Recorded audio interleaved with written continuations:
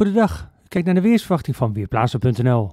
Op de satellietfoto van vanochtend vroeg zien we heel veel bewolking en uit die bewolking viel van tijd tot tijd regen en motregen. Er kwamen nog amper opklaringen voor, maar doordat de regen in de loop van de ochtend naar het oosten wegtrekt, wordt de bewolking dunner en kan in het westen later vanochtend af en toe de zon doorbreken. Vanmiddag zien we de zon dan iets vaker doorbreken, maar de wolken houden de overhand.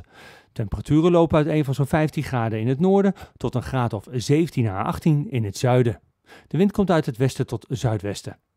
Vanavond gaat het vanuit het westen overal weer regenen. De regen bereikt de oostelijke provincies tegen middernacht. In de loop van de nacht trekt de regen dan weg en dan hebben we morgen duidelijk beter weer. Ochtends vroeg kan er nog wat regen vallen, maar de rest van de zaterdag blijft het droog en schijnt de zon geregeld. Temperatuur loopt ook iets op, naar 15 tot 18 graden en in plaatselijk kan het 19 graden worden. Zondag overal droog weer, zonnige periode. Op een enkele plek 18 graden, maar het lijkt erop dat het zelfs plaatselijk 20 graden gaat worden, misschien 21. Maandag en dinsdag ook temperaturen rond 20 graden. De kans op een bui keert terug, maar de zon blijft ook geregeld schijnen. Ik ben Michiel Severin van Weerplaza.